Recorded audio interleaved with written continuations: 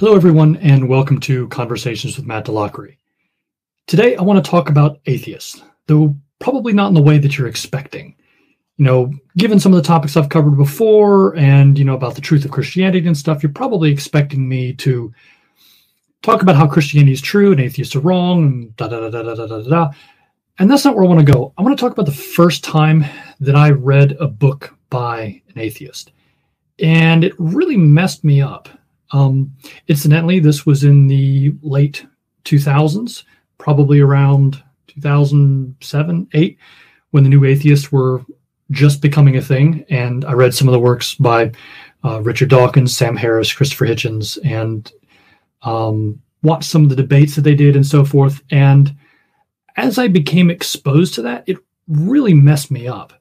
Like, I'd grown up in the Christian world and I had a lot of problems with Christianity and so forth. But it's one thing, sort of like taking a look at your own worldview and then having somebody from the outside start talking about things that you've never heard of before, make points that you've never considered. And it can be a little, I guess, boat rocking is probably the best way to say it.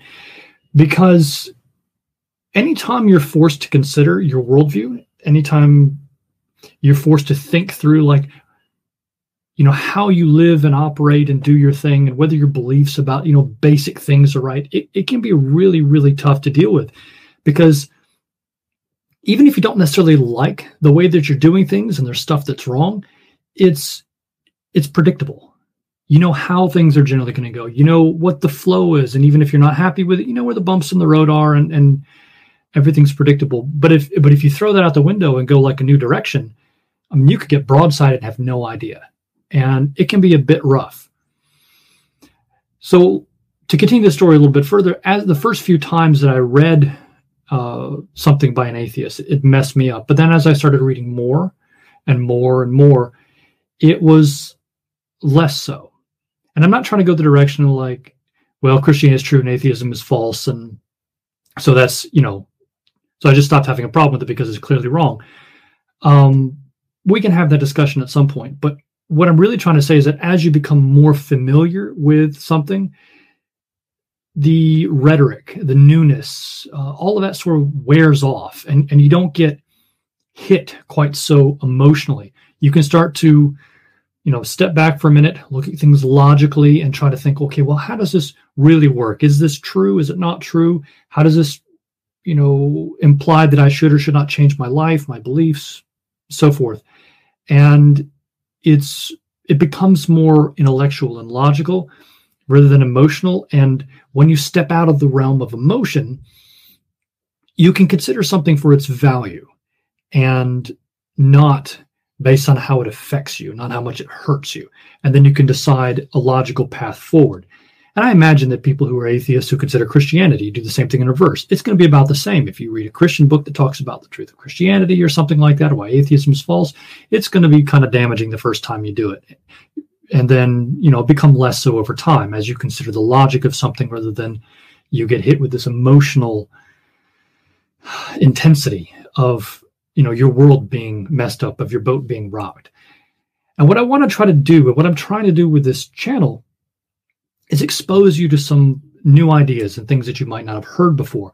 Because I think we need to open up our worldviews and take a look at them. And it's going to be tough. Um, if you're just beginning to watch this channel, if you've never seen it before, if you've never been exposed to apologetics before on, on any side of any issue, um, if you've never really been presented with somebody else's worldview who's making a case for it, it can be a little rough to hear the first few times. Um, and I'm going to try to do that as, as gently as I can, but there's really no way to get past except that you have to get used to it. And I've just had a few uh, conversations with people, not really interviews as much. Some of them turn into more interviews. Some of them are going to be more conversations. I want them to be conversational, sort of a back and forth. But I'm not going to put a disclaimer on any of them. I'm not going to say that, well, I agree with this view and I agree and don't agree with that view. I'm not going to tell you ahead of time that I think they're wrong here, not wrong there. I'm not going to give you a warning or a heads up.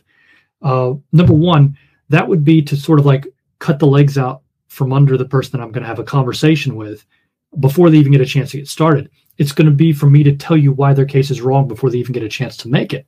I'm not going to do that. That's not fair. Second, I want you to actually think through their points of view. I want you to actually consider their worldviews.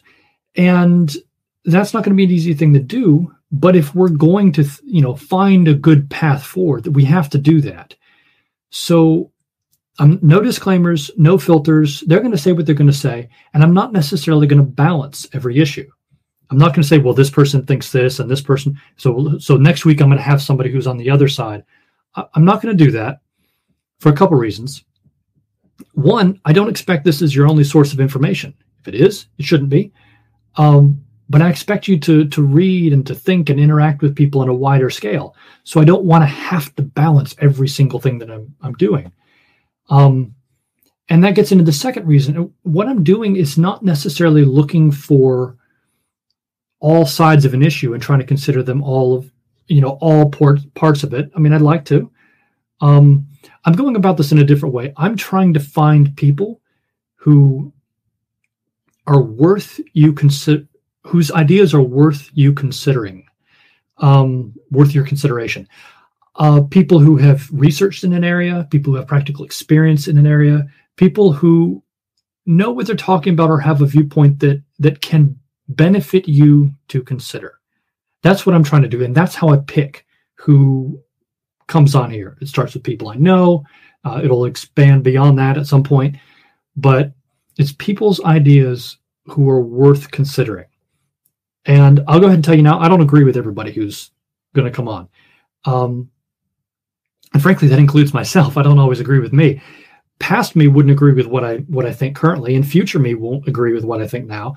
Um, and see, and that's another point that I really want to get at. It's it's not about I have these you know particular points of view and here here here and, and these are right.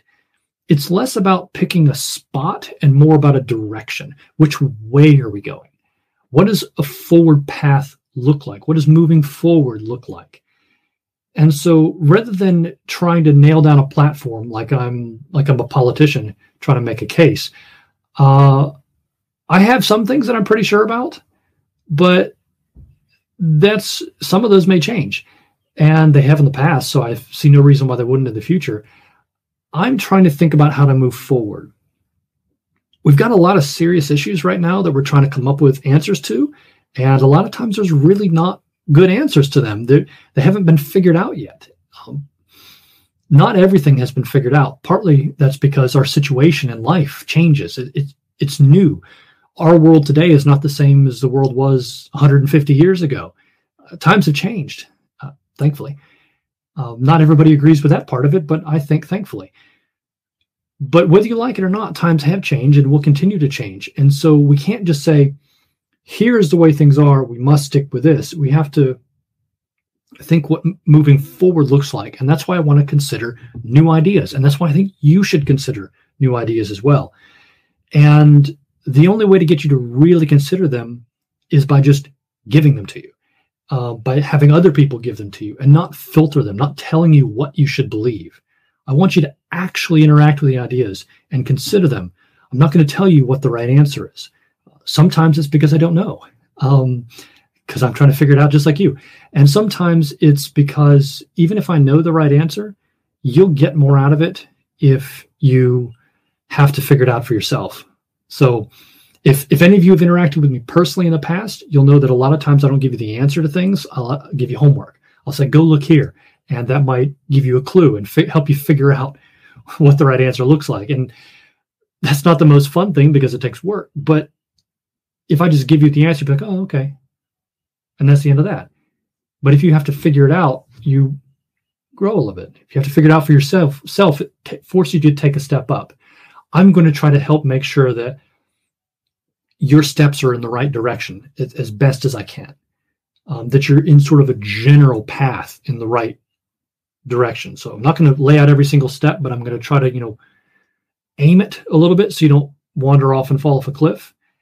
And but I'm not going to be so rigid that like you step here, then you step here, then you step here.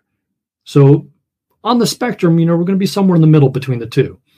So that's what I'm that's where I'm going for with this channel. That's what I'm going for with the people that I have conversations with, both in the past and, and in the future. And a lot of those views you're not going to like. And I don't always like all of them. Um, so, but that's what we have to do if we're going to actually see what progress looks like. We have to consider points of view that we don't necessarily like, get past the newness, the emotion, the rhetoric, and consider what's actually true. Think through what's worth keeping and what's not. So that's where we're going from here. Um, I'm going to put a couple links in the description to a few books that might help you get going. Um, they're going to be, you know, intro to some of this idea of worldview and thinking about things. You know, like is there a God? Did Jesus rise from the dead?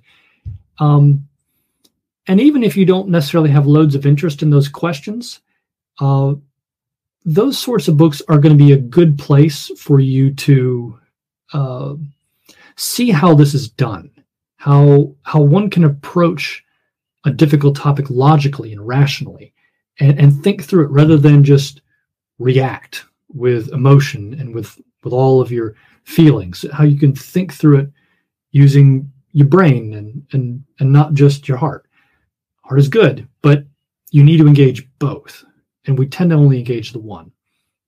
So I'll give you a couple of apologetics books. I'll put those in the description. I'm also going to put another book down there that helps you to have better conversations with people because we need to have conversations and not fights.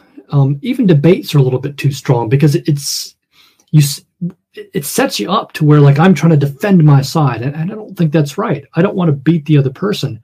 I want to come away having grown. I want to come away knowing more than when I started the conversation. I don't I don't want to be in the same place at the end of the conversation I was at the beginning of it. And I want to come away with with tools that I can use to think through things further. So I'll put a link to a couple apologetic books and another book that's going to help you have good conversations with people. So take a look at those. Those will help. And um, stick around as we uh, cover some more topics that I think think will help us start to find a path forward because there are problems. And recognize problem recognizing there's problems really is the first step. But if we want to do something more than just be critical we have to figure out what it looks like to move forward. And that's what we're going to be doing in this series now. We're going to start looking at a path forward what it looks like to move forward. So talk to you next week